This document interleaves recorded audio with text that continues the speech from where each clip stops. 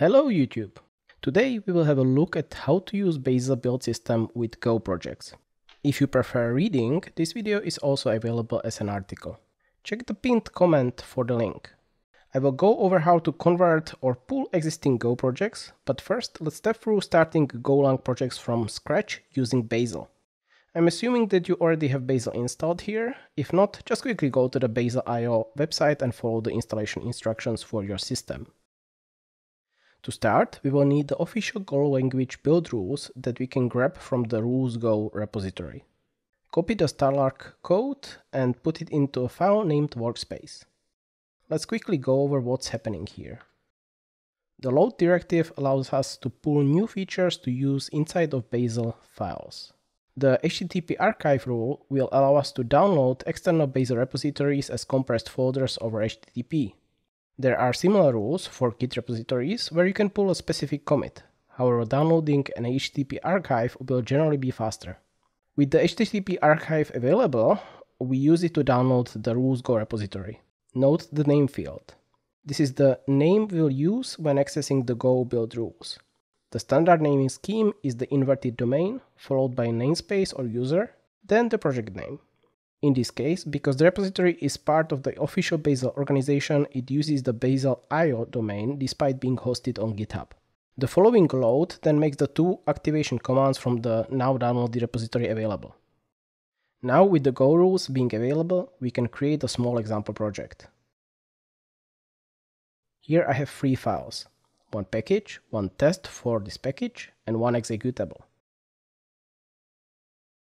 Bazel uses the same naming structure for all its language rules. The prefix is always the language followed by binary, library, or test. For Go, we must specify the import path for each module so they can be correctly resolved.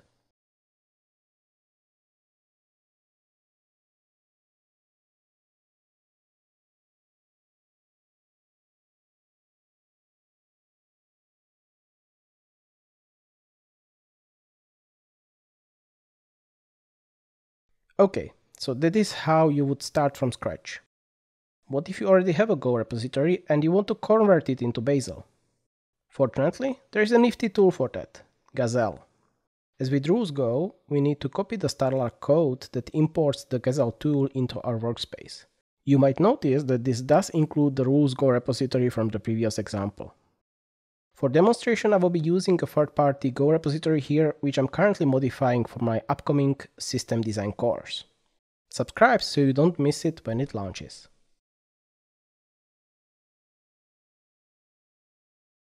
To run Gazelle, we need to edit to our build file as well. Specifying the prefix here is required as Gazelle will use it to determine which imports are project local.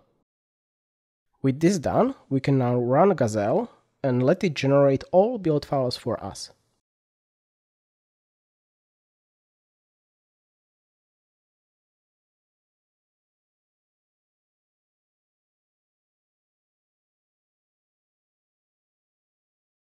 If we try to build a project, we will run into a problem because we are still missing all the dependencies.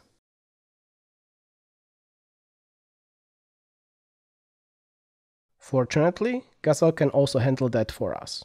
You can find this command as well on the official repository. The to macro part here is optional, as it just separates these dependencies from the main workspace file. With this done, we will have a deps.bzl file that is uh, populated with all the dependencies we need to build the project. Personally, I run into a small hitch here. Trying to build a project results in a lot of errors coming from the Golang tools repository. Fixing it was simply a matter of removing it from the dependencies, after which the project builds cleanly.